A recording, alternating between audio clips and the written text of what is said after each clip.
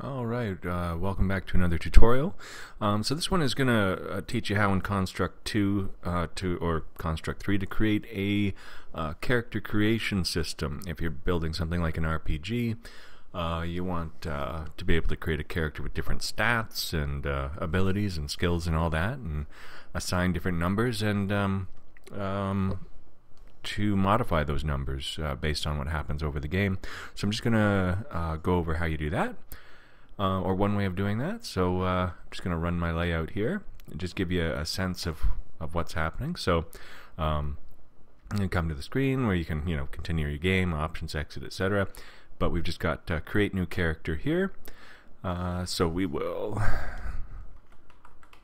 fill out some some of these items. Um, we've got, I just kept it very simple, just three stats, but we could make it as uh, complex as we want, have skills, um, gender, species, all that kind of stuff.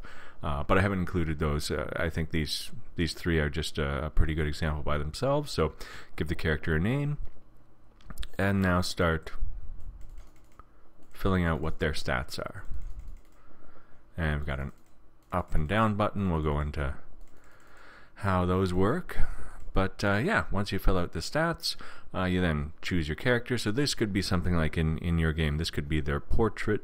Uh, it doesn't have to be their actual uh, player icon, but uh, once you choose one, uh, you can then start the game. And so here's the really sort of basic, crummy little game setup I have here. Um, and so there's Steve. And so Steve has different actions they can take. Uh, again, this is very, very simplified. So, um, Steve here is gonna shoot fireballs. So there's the enemy there. Um, so hit Z, and there we go. Fires a fireball. Second one, destroyed the enemy on two hits. So let's go into why why that is. So we'll go into my setup here. Um, so inside of uh, uh, the the menu system, it's pretty straightforward. It's just you know uh, on starter layout, you set your text boxes. If if you haven't um, done a tutorial yet or seen a tutorial on on setting text, you really want to do this. Uh, do that first because I'm not really going to go into that here. Um, but that then takes us to uh, our character creation screen. And before I go there, I'm going to show you, uh, I've set up uh, the character stats as a bunch of global variables. Um, and I think that that helps. That's best for carrying it from uh, one layout to another. If you use instance variables, it's not going to carry over from one layout to another, and you're going to be switching from from one layout to another because uh, that's pretty standard inside of a a CRPG and inside of most games. So um, so we'll go, there's the basic setup for the character creation.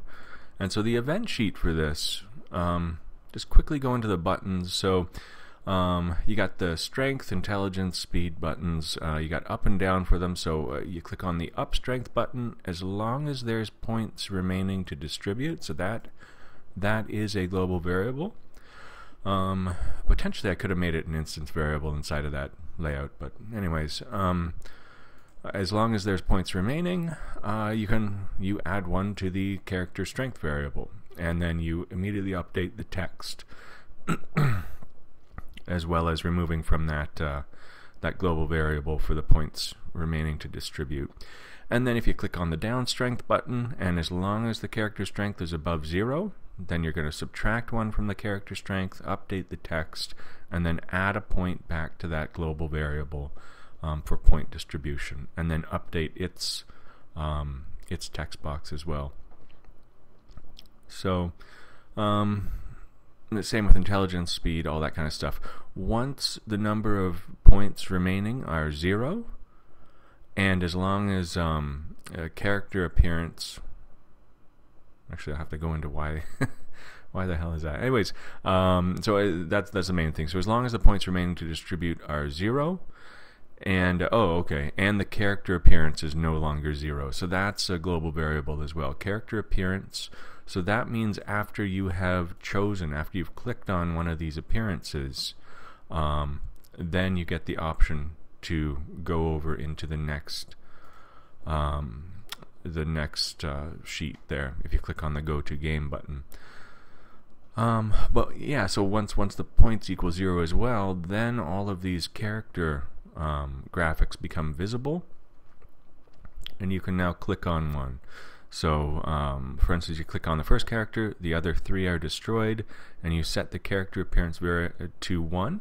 And this is important because um, each one of these, and this is where I can use instance variables with no problem, each one of these has a different, um, different attack. So, uh, this guy has lasers.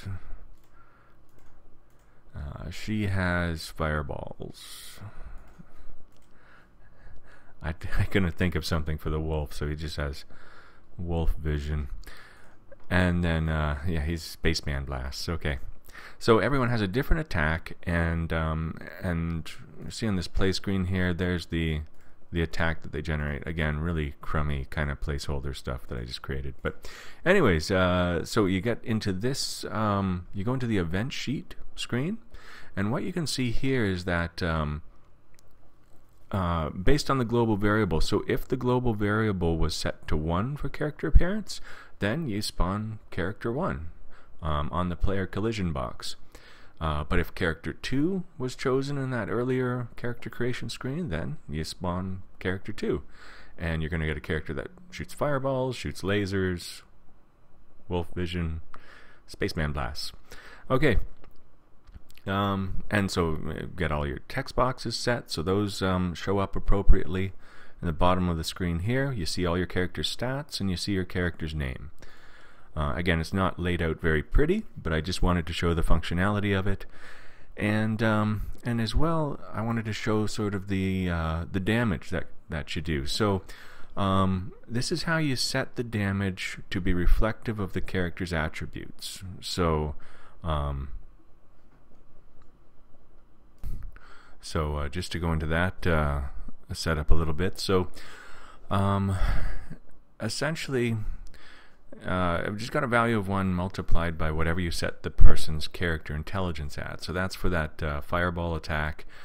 Um, lasers, for whatever reason, I set it to base off the character's speed. That doesn't make sense, but uh, and then the other two I've set for uh, to to be reflective of the character's strength. So um, each time one of these attacks hits the uh, the enemy object, um, it subtracts that amount from the enemy's health.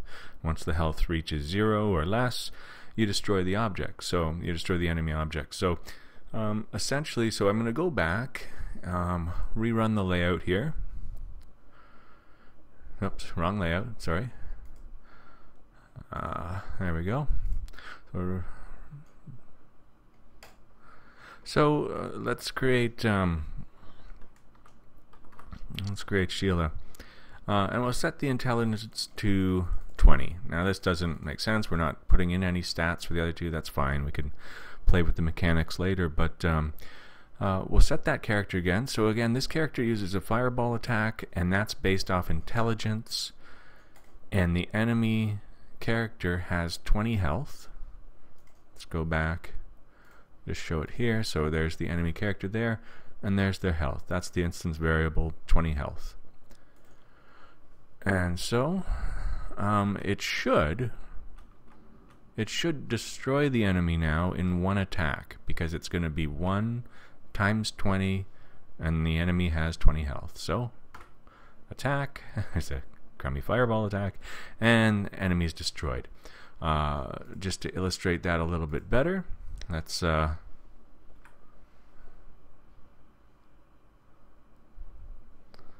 let's um, create a new character again. Uh, there's Sheila Mark 2 and um, we're going to give zero intelligence, put the stats in everything else. And so now, let's see all the stats down there. So now I should endlessly be able to hit that object and never destroy it because it's going to be 1 times 0 equals 0. Um, so nothing's being subtracted from the enemy health object. So you can sort of see that's a, a pretty illustrative example of uh, how you can have your your stats directly uh, affect the kind of character you want to build uh, inside of the game. So I hope that was uh, helpful. If any questions, leave them in the, the comments section. Uh, but I hope this is uh, some help in creating your own RPG games inside of Construct 2 or 3. So, thanks for watching.